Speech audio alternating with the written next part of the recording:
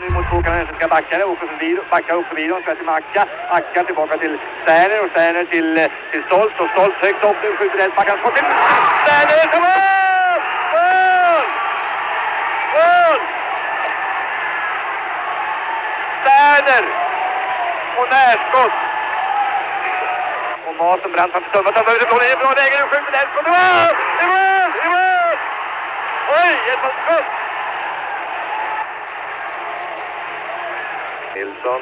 Och nedsätter på till Surapele, Surapele bakåt till Stoltz. Samspelar nu pojkar och samspelar Stoltz där till Nordlander och Nordlander brant fram där. Och nu är det fritt mål! Nisse Nilsson. Mycket rappt. Tre mål mot noll. Eh, I en fight där så ramlar, jag tror att han fick en skridsko i nätet på något sätt, eh, Sterner. Samtidigt som han kolliderade med en kanadensare så att han föll. Hon rakar där och binder klubban på svensken och så bakom kommer McLeod och skjuter i mål!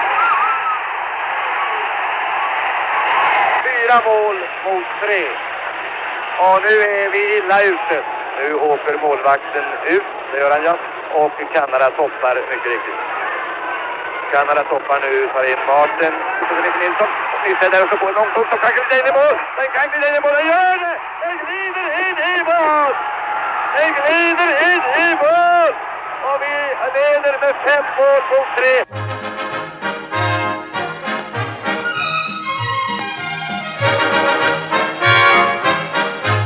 Jag, minns det så väl efter matchen när de spelar svenska nationalsången. Man blir rörd alltså. Man kan inte komma ifrån det att nästan så tårarna kommer på en själv.